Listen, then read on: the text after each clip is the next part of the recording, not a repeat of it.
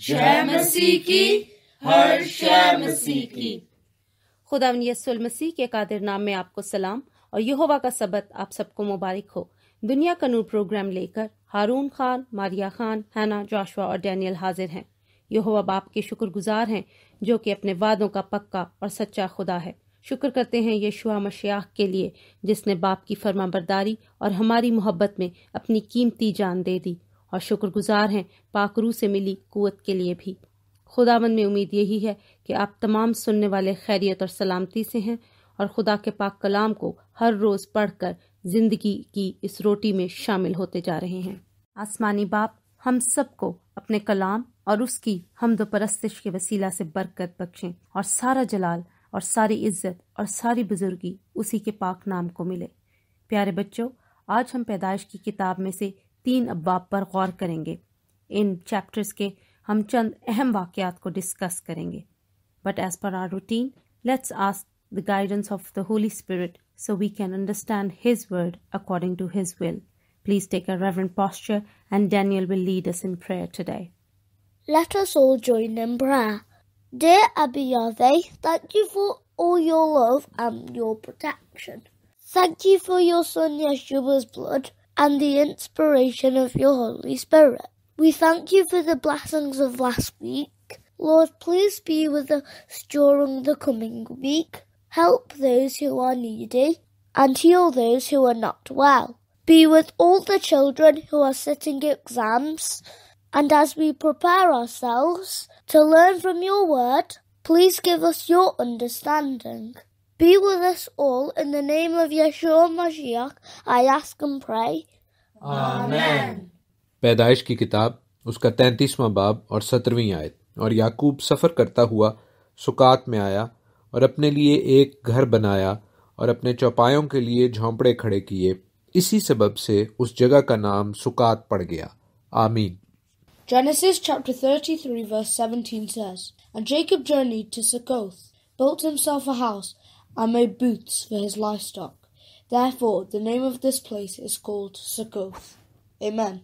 पूरे दिल से कोई जब पुकारे तुझे पूरे दिल से कोई जब पुकारे तुझे मेरे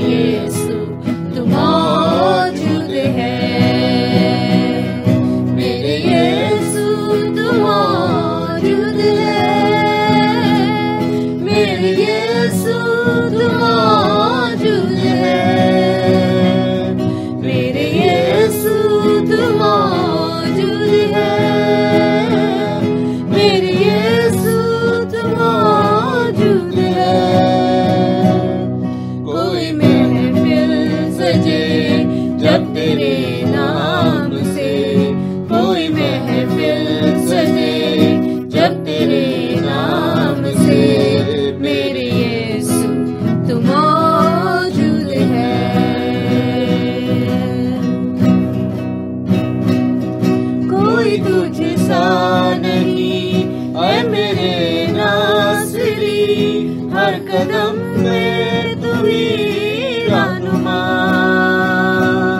तेरी पूजा करूँ, तुझको सजदे करूँ। तेरा नाम है मेरी शिफा। ओ परस्तेश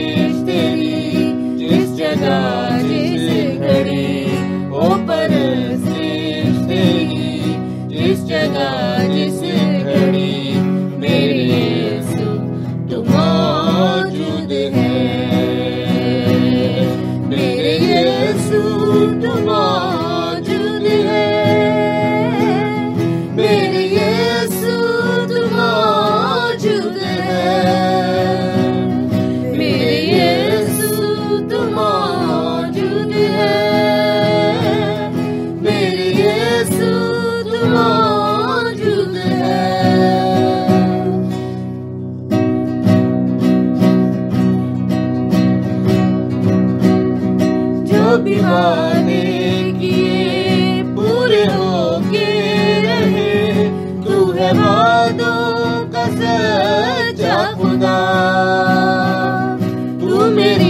ज़िंदगी, तू मेरी हर खुशी, तू हर पल मेरा आसरा। हर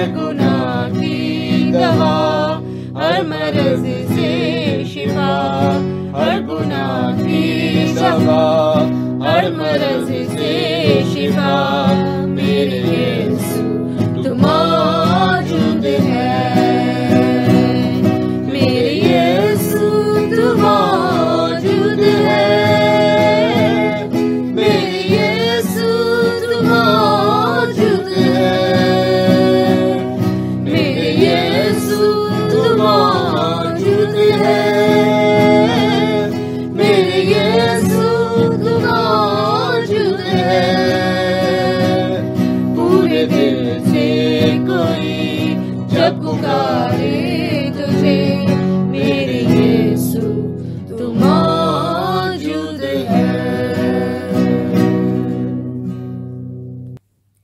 प्यारे बच्चों जैसा कि आज मैंने आपको बताया कि हम जेनेसिस चैप्टर 33, 34 और 35 को स्टडी करेंगे और इसमें लिखे गए इवेंट्स पर गौर करेंगे।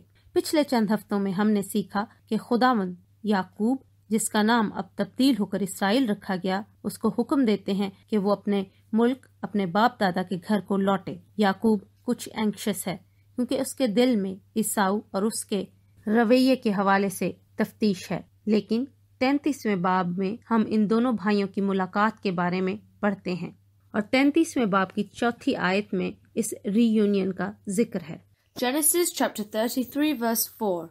But Esau ran to meet him, and embraced him, and fell on his neck, and kissed him, and they wept. पैदाइश उसका तैंतीसवां बाब और चौथी आयत और ईसाऊ उससे मिलने को दौड़ा और उससे बगलगीर हुआ और उसे गले लगाया और चूमा और वो दोनों रोए आमीन याकूब खुद भी ईसाऊ से मिलता है और अपने बाल बच्चों को भी अपने भाई से मिलवाता है। याकूब अपने भाई ईसाऊ को बहुत से तहाइफ भी देता है और फिर उसको वहाँ से रुखसत कर देता है, क्योंकि वो उसके साथ नहीं जाना चाहता। और वो अपना सफ़र जारी रखता है और सत्रहवीं आयत में हमने पढ़ा कि उसने सुकात में डेरा लगाया और अपने जानवरों के लिए वहाँ झोंपड़े बनाए और इसी वजह से इस जगह का नाम सुकात पड़ा। सुकात, जिसका मतलब है खैमे या सिंगुलर फॉर्म में हम इसको खैमा यानी टेंट कह सकते हैं। और हम जानते हैं बच्चों कि खुदावन की दी गई सात ईदों में से सातवीं ईद को भी सुकात कहा जाता है, यानी कि खैमों की ईद। अब चौंतीसवें बाब में एक दर्दनाक मगर बहुत अहम वाकया का ज़िक्र है। याकूब की बेटी दीना इस मुल्क की लड़कियों को देखने और उनसे मिलने को जाती है, मगर वहाँ के अमीर का लड़का उसे देखता है, उससे ज़बरदस्ती करता है और उससे शादी करना चाहता है। बच्चों आप में से कुछ बच्चे अभी छोटे हैं और इस बात को शायद समझ ना सकें, मगर जो बच्चे समझ सकते हैं, आपके लिए बताती चलूँ कि दीना के इस वाक्य में हमारे लिए सीखने को बहुत सी बातें हैं। इस गैर शख्स ने इसराइल की बेटी के साथ जो कुछ किया, वो बहुत गलत और मकरू बात है। मगर अब इस शख्स का बाप चाहता है कि याकूब अपनी बेटी की इस गैर कौम के शख्स से शादी कर दे, जो कि खुदावन की नज़र में एक और गलत काम है। यहोवा खुदावन का पाक कलाम हमें हरगिज इस चीज़ की इजाज़त नहीं देता कि हम गैर कौमों के साथ शादी के बंधन में जुड़ें। और ये बात हमारे मसीही बेटे और बेटियों के समझने के लिए बहुत ज़रूरी है कि जब हम इस काबिल होते हैं कि हमारा रिश्ता हो या हम अजदवाजी ज़िंदगी में दाखिल हों तो हमें इस चीज़ का ख्याल रखना है कि हमारा बंधन, हमारा शादी का ये रिश्ता सिर्फ़ और सिर्फ़ अपने मसीही ख़ानदानों में ही हो और गैर कौम में शादी करने का खुदावंद हमें हरगिज हुक्म नहीं देते।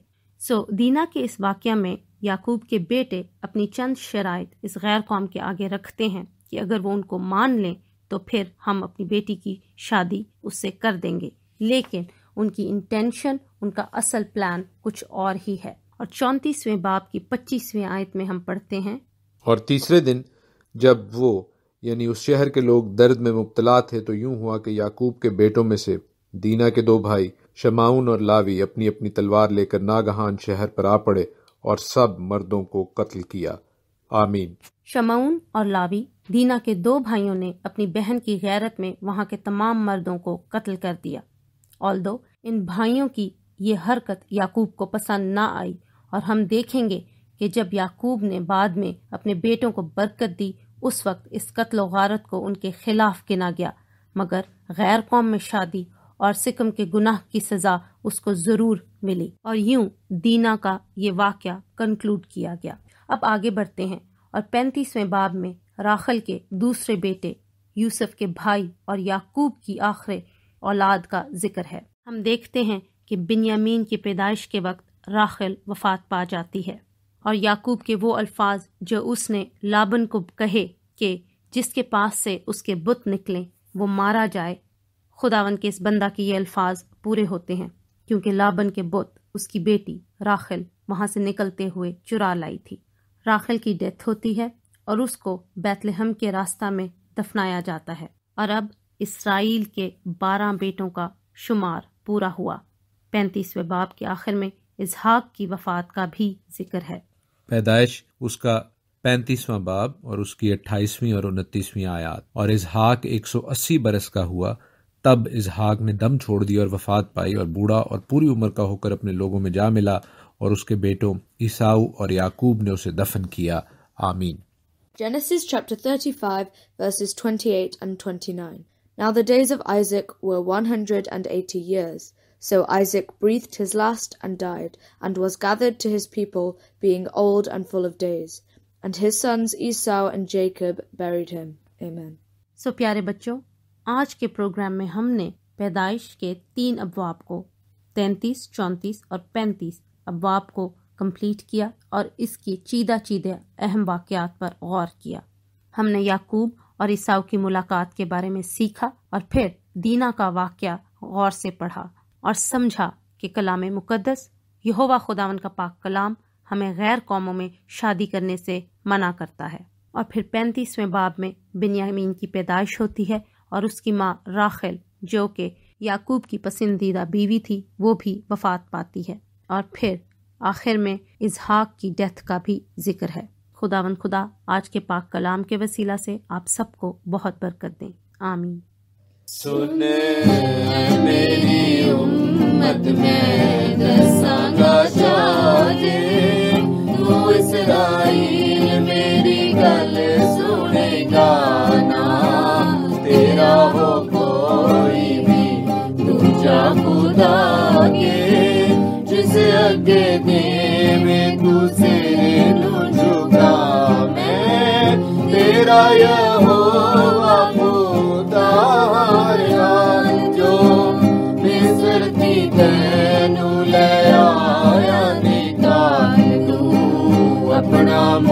खोल देते, मैं भी ज़रूर हाँ बरकत नाल दोस्त नु करांगा भरपूर। अरे होना ने सुनी ना, मेरी सदाना इसराइल की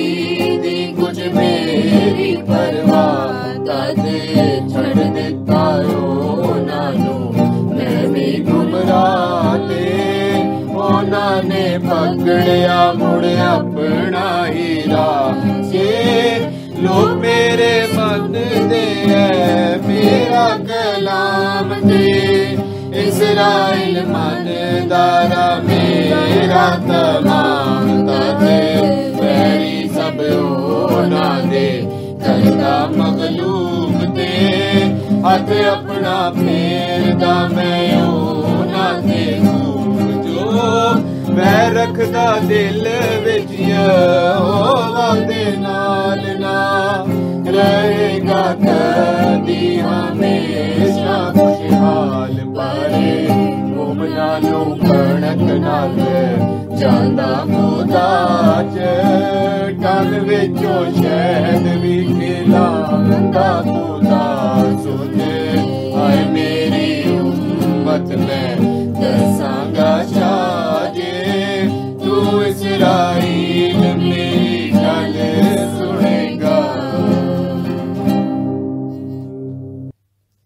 हमारे बाप, तू जो आसमान पर है, तेरा नाम पाक माना जाए, तेरी बादशाही आए, तेरी मर्ज़ी जैसे आसमान पर पूरी होती है, ज़मीन पर भी हो।